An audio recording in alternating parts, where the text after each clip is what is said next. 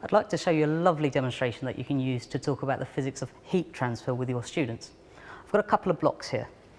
This one's made of aluminium and this one's made of plastic. And you can buy blocks just like this from your usual educational supplier. However, if you don't want to spend the money, all you need is a reasonable sized lump of aluminium and a similar block of plastic.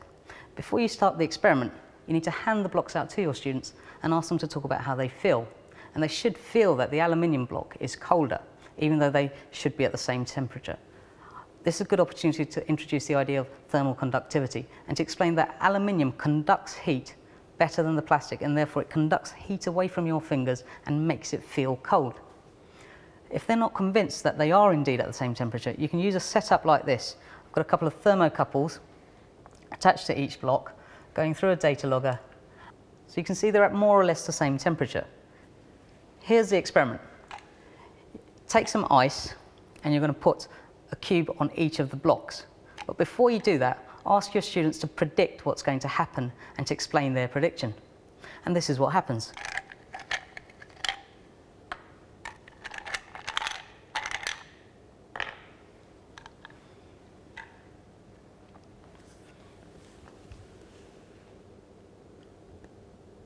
Now you can see that the cube on the aluminium block is melting far more quickly than the cube on the plastic block.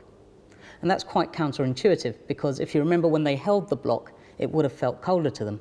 So how come the ice cube sitting on the thing that feels colder is melting quicker?